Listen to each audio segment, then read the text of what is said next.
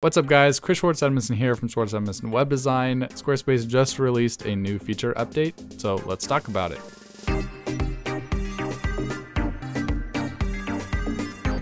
So this new feature was recently added and it's a much better way to add background videos for multiple reasons.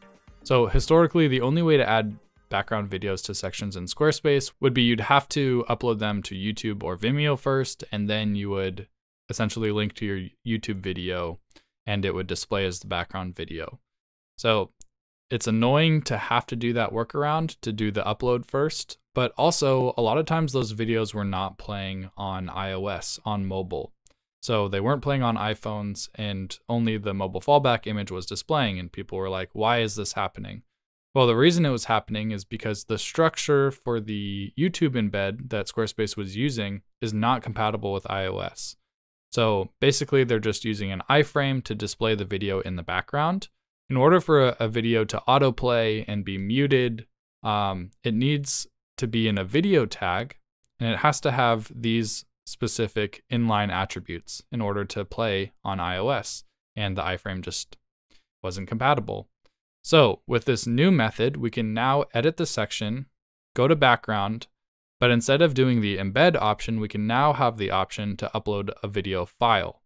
So you can now upload your file. You don't have to first upload it to YouTube and do that whole workaround, which is great. But also the structure is now compatible with iPhone and Safari iOS.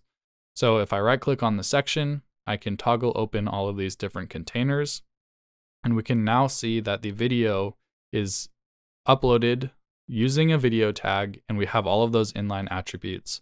So now if you use this method, you should see that your videos are playing on iOS, whereas before they might not have.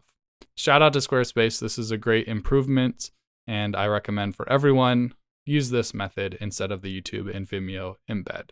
Now, a couple things to be aware of when you upload your video, make sure it's under 30 seconds. You can't upload a video that's over 60 seconds, but I say really keep your video below 30 seconds.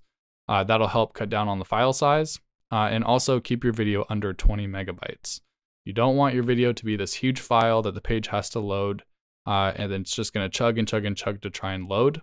So check out the blog post attached to this video in the description below to see tips and tricks for how to keep your video under 20 megabytes. All right, guys, that's it for me. I'll see you in the next one.